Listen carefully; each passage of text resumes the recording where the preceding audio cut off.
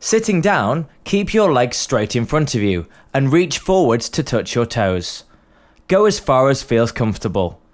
You should feel a stretch in the back of the thighs and hamstrings.